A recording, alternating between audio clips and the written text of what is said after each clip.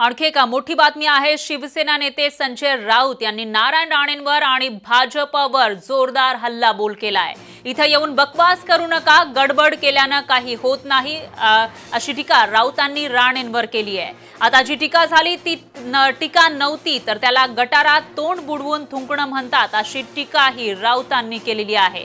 राऊत आज मुंबईमध्ये परतले आणि त्यानंतर त्यांनी ही तोफ डाकलेली आहे. राऊत संजय राऊत यांनी नारायण राणे आणि भाजपवर चढकून टीका केली आहे. त्याचबरोबर मुख्यमंत्री उद्धव ठाकरेंवर जो गुन्हा युपीमध्ये दाखल करण्यासाठी भाजपनं तक्रार पोलिसांमध्ये धाव घेतली आहे ते वक्तव्य पाच सहा वर्षांपूर्वीचं होतं त्यामुळे आतापर्यंत झोपला होतात का असा सवालही त्यांनी केलाय. प्रधानमंत्री मुख्यमंत्री राष्ट्रपती उपराष्ट्रपती यांना कोणी जाहीरपणे मारण्याच्या धमका देत असेल तर ती व्यक्ती किती मोठी असो इथे तालिबानी पद्धतीचं राज्य खरोखर नाही आहे देशामधलं म्हणतो कारवाई पोलिसांनी किंवा जे कायद्याचे अ, रखवालदार असतात त्यांनी केली असेल तर त्याच्यावरती एवढा गजब माजवण्याचं कारण नाही आहे हे सुडबुद्धीची एकदा व्याख्या समजून घेतली पाहिजे. प्रत्येकाला असं वाटतं की माझ्यावर सुडाना कारवाई होते. सुडाना कारवाई करायला आमच्या हातामध्ये सीबीआय किंवा ईडी नाही. एक लक्षात घ्या. या देशामध्ये सुडाना काय आणि कुठे कारवाया होत आहेत या संदर्भात आम्हाला बोलायला लावू नका. अनिल देशमुख प्रताप सरनाईक आणि देशातले अनेक लोक यांच्या संदर्भात ज्या कारवाया सुरू आहेत. त्याला सुडाच्या कारवाया म्हटलं जातं. तुमच्या हातामध्ये केंद्रीय तपास यंत्रणा आहेत म्हणून तुम्ही सुडाच्या कारवाया करता. आणि त्या सुडाच्या कारवायांना तुम्ही कायदेशीर कारवाया म्हणता. आणि महाराष्ट्रात धमकीच्या गुन्ह्याबद्दल जर कारवाई झाली तर ती सुडाची कारवाई.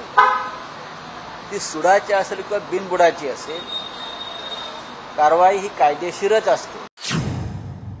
ये कैसे बोल सकते हैं कि ये क्या वेदिंता कार एक्शन है? पर बैठ के पुलिस को अधिकारी को अगर क्या क्या सरकार को अधिकार नहीं है पुलिस को कहने का? सवाल उठ रहा है।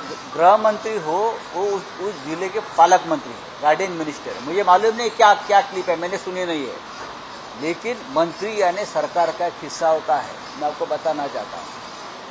सरकार और कहा आपने उनका नाम सुना है बोलते हुए कि इसको गिरफ़्तार करो उसको गिरफ़्तार करो।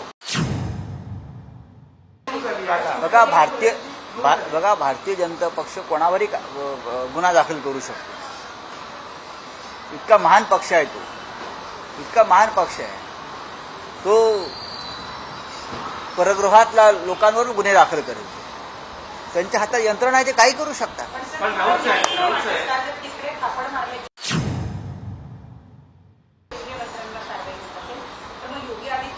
काय तुम्हाला या थपडीचा आवाज सहा वर्षानं ऐकायला आला का? वो थप्पड़ की गूंज आपको अभी सुनने दे रही क्या?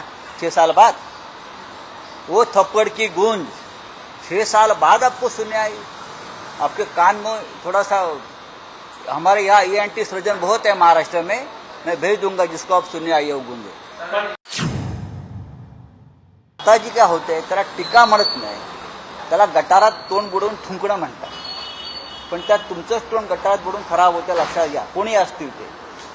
महाराष्ट्राची एक परंपरा आहे. साहित्यिक सांस्कृतिक राजकीय सामाजिक आपण जेव्हा हा फुले आंबेडकरांचा महाराष्ट्र म्हणतो शाहूंचा महाराष्ट्र म्हणतो छत्रपती शिवाजी महाराजांचा महाराष्ट्र म्हणतो तेव्हा या महाराष्ट्राची परंपरा तुम्ही समजून घेतलं पाहिजे. महाराष्ट्राचा पश्चिम बंगाल होऊ देणार नाही म्हणजे काय? पश्चिम बंगालला तुमचा पराभव झाला लक्षात घ्या. पळून जावं लागलं पश्चिम बंगालमधून तुम्हाला. आणि महाराष्ट्रातून सुद्धा तुम्हाला पश्चिम बंगालमधून नामशेष केलं जाईल अशी भाषा वापरत असाल तर. पश्चिम बंगाल हा देशाचा भाग आहे. पश्चिम बंगाल ही क्रांतिकारकांची भूमी आहे.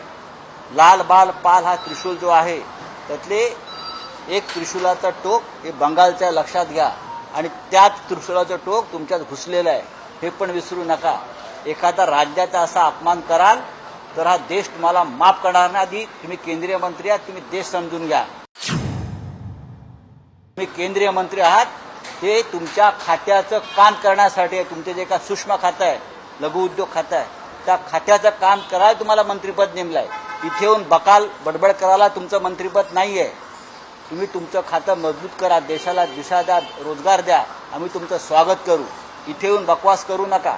हे मी आत्ता सांगतो आहे आणि शांतपणा कराल आमच्या अंगावर याल. तर एक लक्षात घ्या शिवसेनाच आहे. बडबडण्याने काही होत नाही. तुम्ही किंवा त्यांची पोरं. चला.